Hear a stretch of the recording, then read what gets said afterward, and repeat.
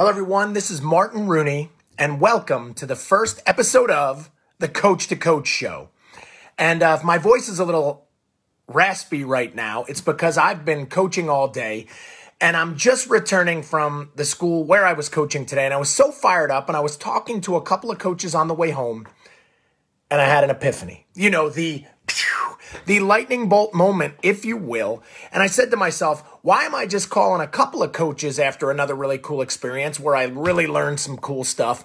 Why don't I talk to a lot of them? And uh, I was compelled right now to start what I'm going to call a Facebook Live show. And I'm going to try to do this where we get an opportunity to interact. And what do I mean by that? I don't know if you know, but behind me, I have the Into the Roar podcast. I have a couple of different websites, trainingforwarriors.com and coachinggreatness.com, which have blogs and regular emails. And you may see my posts here on Facebook or social media. But it, where do I interact? Like, where do we discuss or where do we come up with some great ideas together and build a world of better coaches, which is my mission? And I said, the perfect place is a Facebook Live, and the perfect place is to get a regular opportunity going. So today, uh, if you're interested, hey, I'd love you to be part of it. I'm going to be asking you for things during it. But if you have a recommendation on perhaps the best time to do this, where I know right now for all my European friends, you're probably watching this and we missed you. You're all in bed. But my Australian friends, hey, you're just waking up. It might be uh, 9.30 or 10.30 in the morning where you are. But my West Coasters in the United States, man, it might still be a little early. You might still be at work and I apologize. So I'm trying to find the the best opportunity because I'm on a mission to make better coaches around the globe, around the world. It's what I've been presenting on for the last number of years. It's what my organization Training for Warriors, what I believe we're building are great coaches to help more people around the world. And every week I want to start the discussion and uh, I want to see what you think too. And I'm seeing a lot of uh, hey, some great names on there from people from all over the place. And I'm tr- going to try to uh, interact with you. And, and not only that, hey, thanks for everybody that's jumping on because I did not announce this. And it's almost amazing how many people will see it. But here's the question that I'm going to start with. And then, hey, I'd love for you to post your answers in here too. But then we're going to start a conversation. And look what I just said. I said this coach to coach show is going to be designed to make better coaches. And why? Because I believe coaching is the most important job in the world. Now, we may have some doctors listening. We may have some lawyer list, lawyers listening. And hey, I apologize. Those are cool jobs too, and they're important. But I think the word coach, there's a couple of things that come with that that make them different. Now, authority. Hey, when you're a doctor, you also have authority too, and uh, and responsibility. Hey, when you're a doctor or a lawyer, you have a responsibility too. But accountability is very interesting. See, when a coach says something to you because you call them your coach, immediately like, oh my gosh, uh, this coach has told me something, and then it must be true, and they're my coach, so it, it imprints in the steel of our mind. And I'm going to share an interesting story about that. You ready? Or about myself. I eat, and I want to see what you guys have as well. I eat a jar of peanut butter like every week, week and a half. I love peanut butter. I'll put peanut butter on almost any meal that I eat. But do you know why I eat it so much? I went to a hockey camp on the border of Canada when I was 12 years old. And the head coach, I cannot even remember his name. He was from Boston University at the time, and they had won some national titles. And he came in to talk to the kids, and he said, Guys, you got to follow good nutrition. And man, like the best food you could be eating is peanut butter. You got to eat peanut butter. It has protein. It's going to help you build muscle. It's got these extra calories you need to grow and get big. And, and, like I went home, I, I, bought like a bunch of jars of probably not the best peanut butter, probably like Skippy with high rapeseed oil and uh, hydrogenated oil in it at the time. But uh, my peanut butter's a little better now. But here's the thing I'm still eating peanut butter. I'm still eating peanut butter 30 plus years later because this guy I barely knew, but he was a coach. And because he was a coach, he all of a sudden had all this authority, responsibility, and held me accountable because of that title. Now, I will say this I've had a lot of doctors tell me stuff over the years. I don't remember it as well because maybe that title wasn't as revered for me as it is. But now let's talk about the mission. Now that we just identified that, that people, not only do they do a lot of times what coaches say, but they're listening. And now I want to share this. What if the coach says the wrong thing? What if the coach says you're nothing or you're never going to be good or, or you don't have it or you, you, you just don't have the talent or, or the drive? Well, you know what? The person imprints that in the steel of their mind too. And uh, I'm challenging you right now. Hey, so write it in, in below if you get an opportunity because I want people to answer and I want to see these things so we can build and grow together. Hey, what's your peanut butter story, right? What was something a coach said to you 30 years ago and you're still doing? And uh, and and hey, in good things, and then maybe what's something somebody said to you and you're still living or you're still believing, and maybe it wasn't a good thing. And that is why you're going to understand that I'm on a mission, and I'm going to keep saying it, to make a world of better coaches. And uh, hey, next question, right? Which I think is a really powerful one for everyone here. Uh, oh, there we go. Hey, so Bobby down in Texas, hey, never give up from his seventh grade football coach, right? So look at that. And uh, it's for everybody that knows. And Bobby, I know you're not in seventh grade or, or you're not you're not in tenth grade right now. Uh, man, so that was a long time ago, right? Something somebody said that if they said the right thing at the right time, it could change your life. That's the power a coach has. And uh, hey, here's another epiphany and things that we're going to talk about always on the Coach to Coach show. You don't got to be a sports coach to be a coach. I mean, if you're a teacher, coworker, boss, spouse, parent, uh, uh, uh, brother, sister, coworker, teammate, you're a coach. You're a coach to somebody else.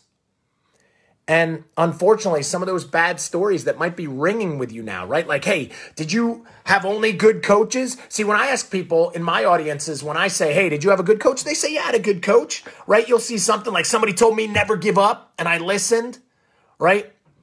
And uh, but then I'll say, hey, well, do you have a bad coach? Do you ever have somebody that said something that, man, really looking back, that was the worst thing they could have told you? Or somebody that didn't see your gifts inside or the things that you could become. Did you have one of those too? And usually people say, man, you know what? I had a whole lot more of those. And, uh, you know, and I see, hey, from Oz in Mexico right now, he's saying a coach told me that uh, I have to see people as they can be, not as they are right now. And uh, it's a rule for him now. And Oz is down in Chihuahua, Mexico. I always like saying that. And uh, so Oz, I hope all is well. And but here's the thing: like that power that a coach has, hey, that's for good or for bad. But here's what I'm going to tell everybody right now: whether somebody did the wrong thing or said the wrong thing, you gotta one let it go because I'm going to explain in a second why it's not why maybe it wasn't their fault. But number two, right? Now it's our opportunity to do something about it. And what do I mean? You can't repeat that mistake. You know many people I see that they coach exactly like their coach coached them? You know, and I'll watch people today smashing young athletes or crushing people in the gym or something else. And it's like, well, that's what my coach did. That doesn't mean it's right. What's right is right. And here's what I'm going to say everybody is a coach. There have been good and bad ones. And that is maybe not their fault because there was an education that was lacking. There was a movement that was lacking. See, we know coach is important, but guys, if somebody gives you a hat with the word coach on it and a whistle, you're a coach. Where was the education? Where was the ethics? Where was the rule book handbook, if you will, of what it means to be a coach and some important skills you got to have to be a great coach and the reminder of how important your job is as a coach. And you know what? I got great news. You've probably heard. I wrote that handbook. I wrote that rule book. And uh, the biggest publishing house, one of them in the world, took note and it is coming out. They have fast tracked it. It's coming out in March. So we're only about six weeks away. It is called Coach to Coach, named after this show. And uh, I promise uh, it's only going to continue this conversation that we're going to keep having. Uh, if you're interested in helping me out, you can check that book out on pre-sale, by the way, at Amazon.com. And I'm giving some cool specials away if you've seen them on my social media. But I'll tell you what, I couldn't take it anymore. Right now, I'm returning from coaching at the high school where I coach. And uh, you know what was one of the hardest things last year? Here's another story. One of the hardest things last year was to watch a lot of the kids on opposing teams that would come, and I might be working an event at a meet, and uh, and the kid they had athletic ability, you could see it, but they had totally not been coached in the event in any way. Someone had not taken enough interest in them to teach them what to do, and then I'd even watch when they didn't perform well. That coach would come over and like berate them or yell at them or or tell them something they're not good at. And you know what? I'm taking a stand. And here's my stand. The world needs better coaches, and I want everybody to accept this as a responsibility. You're a coach, and every time we see something bad on the news, every time we see another disaster that is, you know, relying on something somebody did wrong, instead of saying, oh, let's look out all the things they did, or, or hey, every time I see on those news clippings, it'll be somebody that comes out and say, oh, we saw this coming. Oh, I, I knew this was going to happen. But I never see the interview with the person that did everything they could in their ability, with the coach that like took them aside and said, I see more in you and there's something possible. And man, you know why I don't see that interview? Because it didn't happen. Because there wasn't a coach there at the right time to make the right difference for the right person when they needed it most. And if everybody understood the job, and if everybody understood that they have this job, whether you call yourself it or not, you are a coach. If you've got children, you're a coach. If you're a teacher, you're a coach. You run a business, you're a coach. You on a team, you coach other people. And if you understood that, that your words are gold and you could say something so important that could help somebody else, you're going to choose those words more wisely. And when someone's not doing well or you saw it coming, a great coach is going to step in there and, uh, do something about it, right? And it's our responsibility. We cannot sit back any longer. And I'll tell you this if when I just asked, did you have a good coach or a bad coach, and you had a bunch of bad ones, you should be more motivated than anybody. Which leads me to my next coaching story, one that I have not told, but I want everybody to hear. And it's a good one. I grew up, I was a latchkey kid, right? What latchkey kid means is both of my parents worked. Hey, my mom was a physical education teacher. Uh, my dad ran businesses. And uh, so I, when I would get done with school, the bus would drop me off at this house where, you know, I guess it was the precursors to daycare. It wasn't like daycare, you just like went to somebody's house. I'm sure that breaks all the rules of daycare today. But I got stuffed into this house with a bunch of other kids. And I'll never forget it was they had no TV, no nothing. And I can remember a lot of nights just, you know, waiting for my parents to show and man, it was uh like as for a high energy guy like me, if you know high energy guy like me, cooping me up and locking me in a house with a bunch of kids that were all much younger than me, nightmare, right? And the only thing I had to look forward to there were a couple things. One was you got like these two cookies, and I'll still never forget it. They they always gave you these like ginger something cookies that like were terrible. And every time I have one that ever tastes like it, I remember that place. And but I had one other thing to look forward to. When the weather changed, because I was in this uh, prison, if you will, for a few years. When the weather got good up in New Jersey, we could go outside, and across the street there was a park, and I'm gonna I use that word lightly. I'm going to explain the park in a minute, but there was also our town Little League baseball fields. And uh, I would go across the street when they allowed us. And when I say park, I'm using the term loosely. They had a slide, but the slide was so covered in rust, you needed a tetanus shot every time you rode it. They had swings, but they were all busted up. But at least I was outside and I was running around. But man, they had a baseball field. And uh, in March, right around this time coming up soon in the year, uh, the teams would start practicing, you know? And uh, if you know anything about me, man, I, I, don't keep my mouth closed well. So I would go stand at the fence, at the fence, and I would yell, I can hit too. Hey, let me out there. I'll show you how it's done. I'm like, now in retrospect, I'm yelling to like some dad on the mound pitching to his 11 or 12 year old kid, but I was what my father likes to say, relentless, which I think, uh, you know, is one of my strengths. But I was relentless in my pursuit to hey, let me take a couple cuts, you know, at the plate. And finally, this dad can't take it any longer. And he says, uh, all right, kid, let's see what you can do, right? And he calls me up, up to the plate and I'm small. And man, the bats are heavy. So, but I at least knew enough to choke up. And I know I gotta, man, I gotta take a good crack at this one. Now, hey, I'm not selling my parents out. We played a lot of baseball. I knew what I was doing. And again, guys, at this point, you know, I'm a first grader. I'm like five, six years old. And, uh, cause I started school early and, uh, and man, he throws it, and man, I rip one. I'm left-handed. I rip one, and man, it just just misses this guy. It just misses him, and he looks back, and I'm just standing there with the bat on my shoulder. I'm like, "Yep, what? Give me another one. What's next?" And man, you know, I got my ten swings, ran the bases, and you know what? That guy, he got me out of hell for one day. You know, that guy got me out of prison for one day. Let a kid take a few swings. And the story would be cool if it was just there, right? But here's where the story really gets great.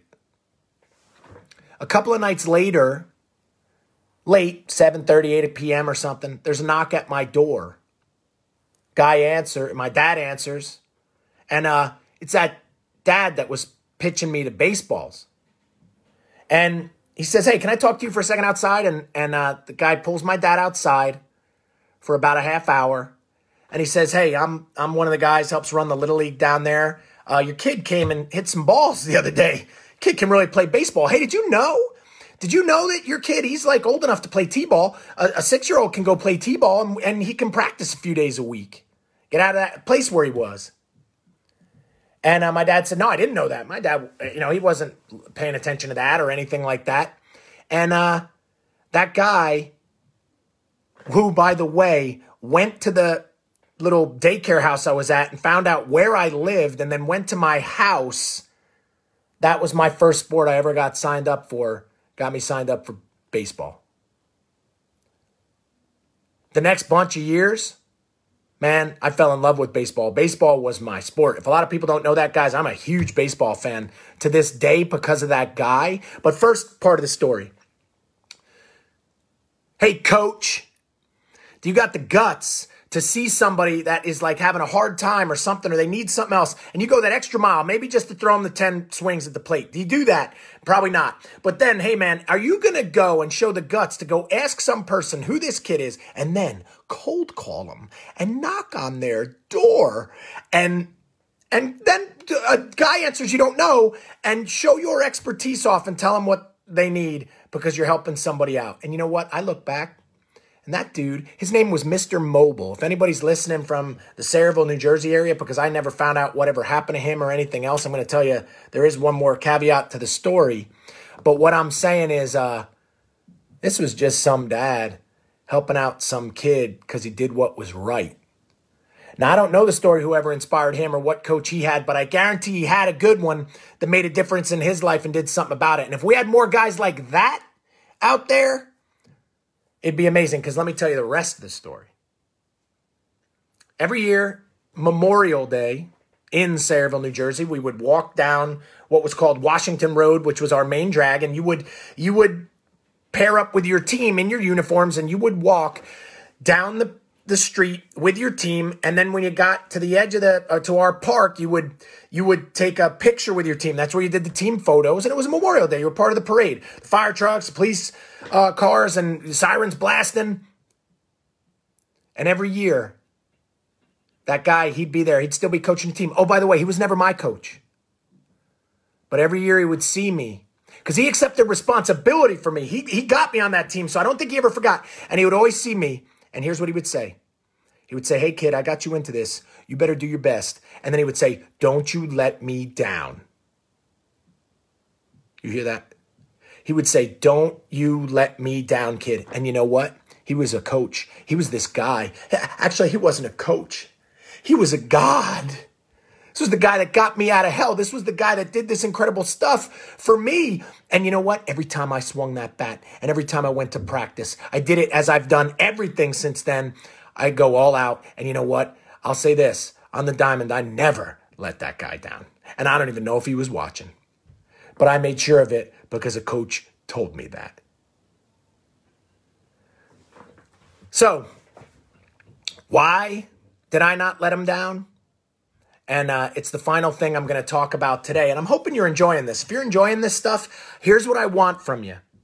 I want you to write a quick story, like in the in the comments. I want to hear a story from somebody else, right? That was my story. Hey, you got a cool coaching story? You got something? Because when you tell it, you know what? I've never, I don't tell that one. And now that I'm telling it, it's like, oh my gosh, like holy cow, the power that comes along with a coach and the importance that happens with a coach, especially in some young person's life. Holy cow, we need better rule books and we need more conversations about it and we need to understand what we're doing because we could make the greatest difference. And you know what?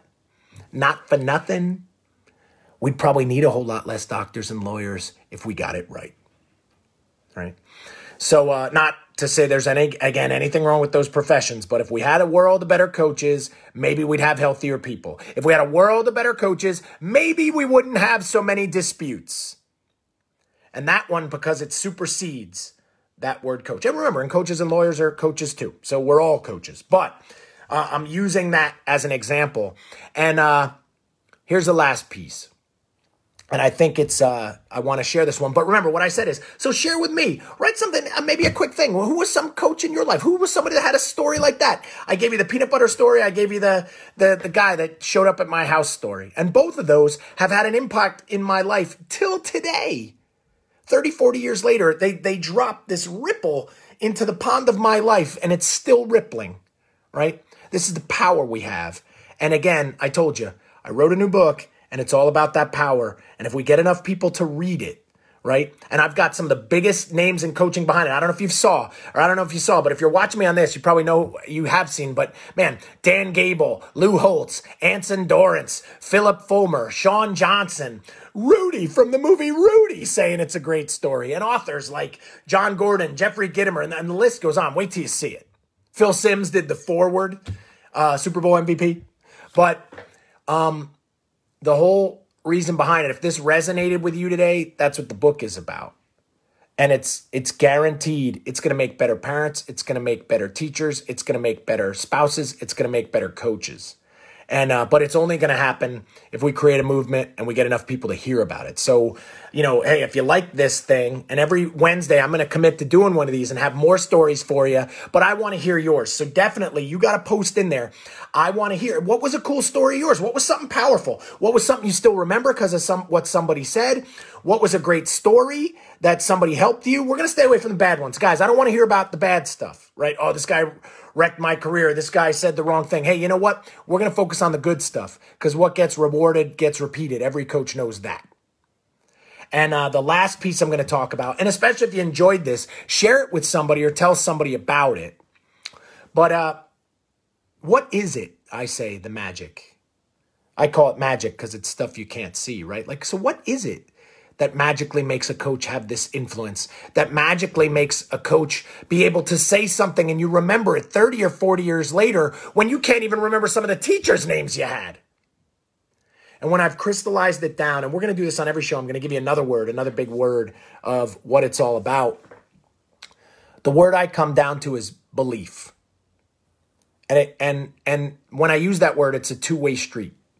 And let me explain.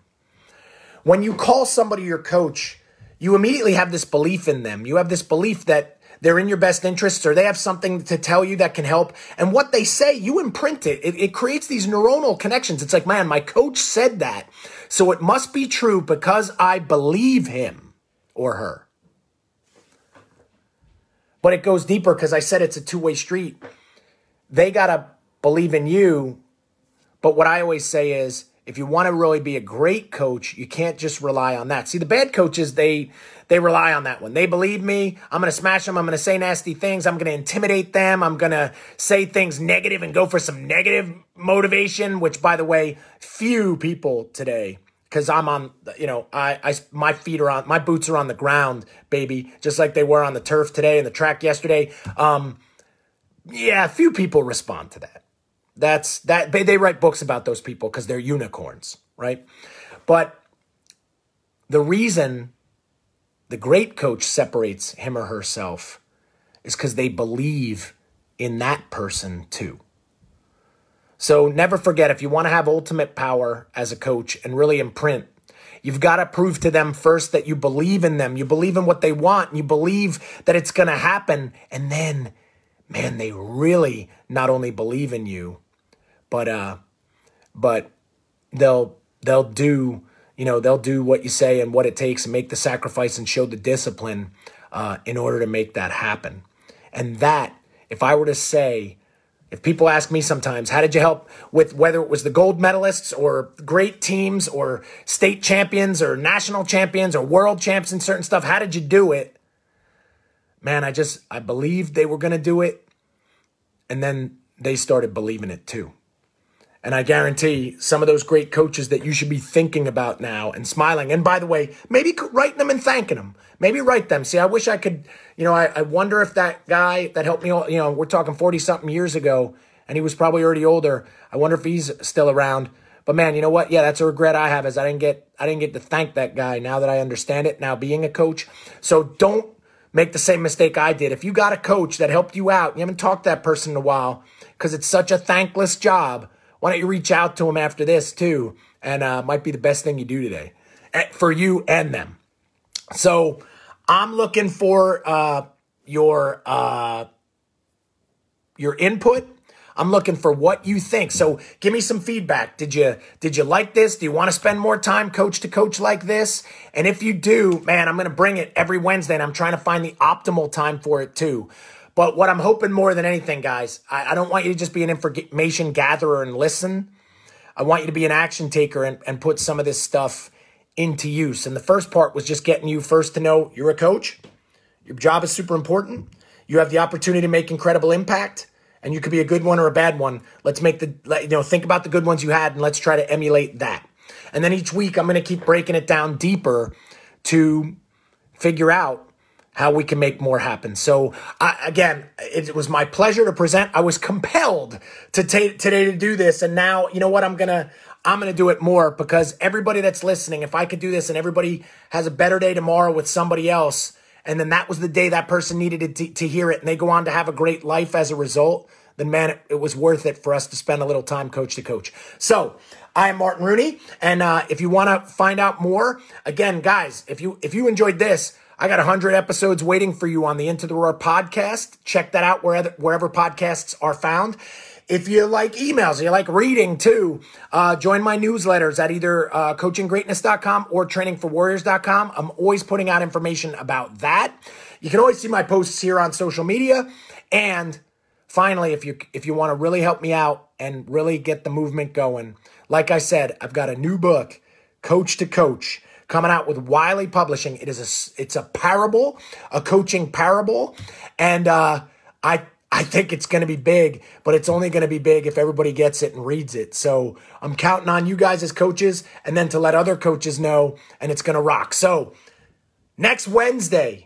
Join me for the Coach to Coach show. You better bring some ammo because I want to see what you got. And I'm looking forward to reading all your comments below. So I want to hear good coach you had, something you learned, and a really cool story. And uh, I, I will be honored to read it. So this is Martin Rooney, Coach Martin Rooney, uh, signing off. And man, I'm challenging you tomorrow. Go coach with some veins in your neck and make sure you know whatever it is you're saying to somebody, they're putting it in here. So make sure you're saying the right things. Thanks.